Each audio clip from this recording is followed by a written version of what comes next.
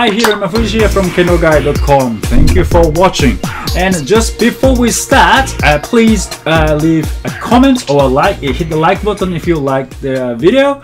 And I love comments, and I, that makes me happy and it keeps going. And please do leave a comment. Just one word uh, is fine, you know.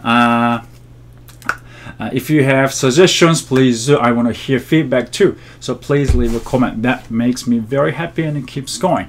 And okay, uh, in this video, I would like to talk about uh, this question. Uh, I received a question about elbows. Should, uh, should I uh, make them straight, make both elbows straight or not?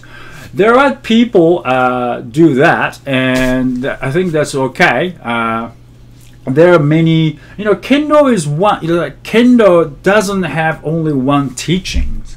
It's like to accomplish one thing there are many theories behind and of course there are a lot of senseis who learned different senseis right? So uh, it's like in kendo we have many schools it, that kind of thing. It's like in the old days a lot of kenjutsu schools. Uh, we don't do that but it's like I do kendo like this, I do kendo like that. So there are different types of kendo. So it's okay, but I would like to uh, answer the question: Should I, you know, uh, keep both elbows straight or not? Uh, in old days, apparently my sensei Miyazaki sensei uh, told me that his sensei Matsumoto Toshio sensei ninth dan, he said when he was a kid, he was taught to uh, make it straight, all straight, and have your shinai right in front of you and all straight kamae. But when they were introduced 39 shinai, long shinai back then, uh, they said, oh, this is the uh, adult shinai. So this is the standard shinai. We're going to make it as standard. And then it changed a lot. This is uh, Iaito and Tsuka. Uh, this is 39 Shinai from Japan, and Tsuka length is this much difference, like that. Okay, so Tsuka got really long, and at the top, let's see. Okay, the top two is a really different. Okay this much difference. So Shinai got really long. It, that means you have to adjust the uh, everything, right? Kamae as well as how to hold Shinai. That's why uh, Matsumoto Sensei, Matsumoto Toshio Sensei said apparently uh, he had to uh, lift back, uh, bring his le uh, left shoulder back so he can uh, unlock the left wrist.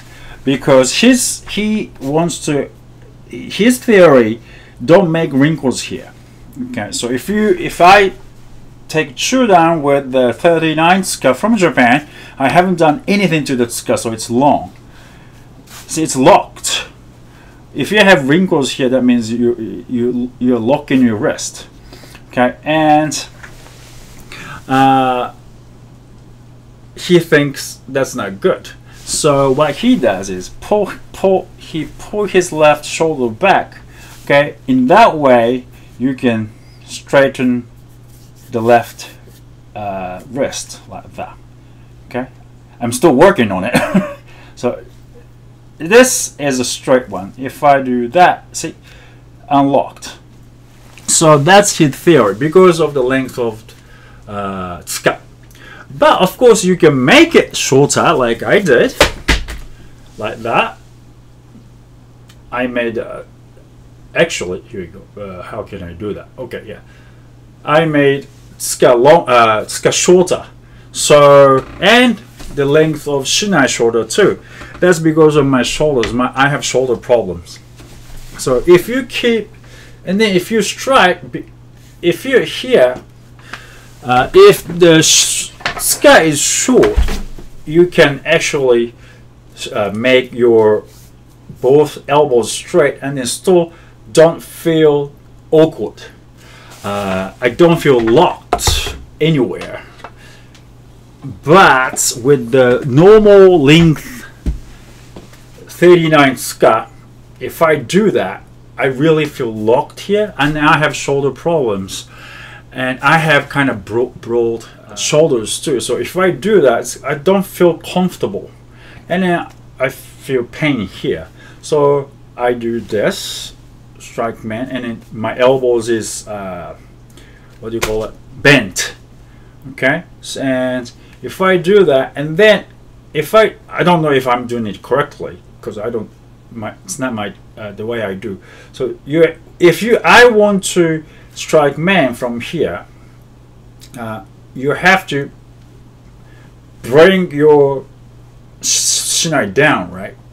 So you have to do this and your shoulder comes up too and that put pressure on my shoulders on my left shoulder and because of the, my uh, shoulder injury I, I cannot take that uh, pressure. So I don't do it. So in my opinion I don't think you you should uh, keep your both elbows straight but of course, Kendo has different teachings, so if you can do it and you, you have no problem with it, I think it's okay. But if you feel uncomfortable uh, and if you feel like pain, especially, you shouldn't be doing that. So you should try to find out the way. You know, you have to keep your uh, keep your sword straight, and you you should you shouldn't be locking any uh, joints. Uh, if you lock it quite likely you get injured. Uh, so please kind of talk to your, your body and talk to your sensei and then study what you can do. Uh, after all, kendo is like you you get you you learn something and you have to study it. You have to uh, make it work. So that is the important part, the process. Uh, I have to go and pick up my pick up my daughter. So uh, to wrap up, you don't have to do it, okay? But talk to your uh, teacher and figure out what you can do.